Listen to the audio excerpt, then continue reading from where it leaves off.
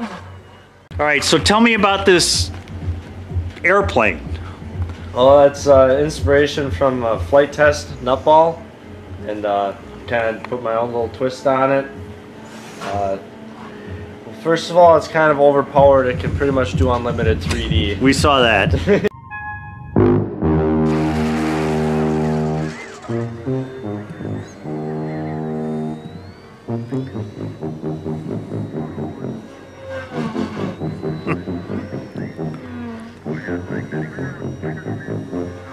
And then I got lights on it.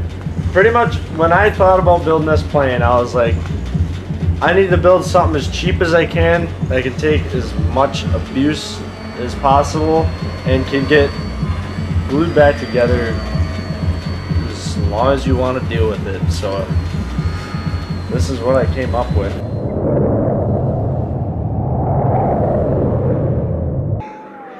This is nuts. And it holds together good. and you had fun with it. I have a lot of fun with it. Yeah. You see, when when you're in a hobby, you gotta enjoy what you're doing. Mm-hmm. If if you're not having fun with it, no use in doing it. So It's rather brilliant. Wait a second. He's heading right for my windshield. The traffic is approaching head on. Ultra bright and really moving.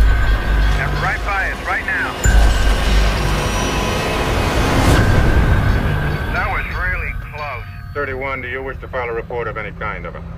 I wouldn't know what kind of report to file, Center.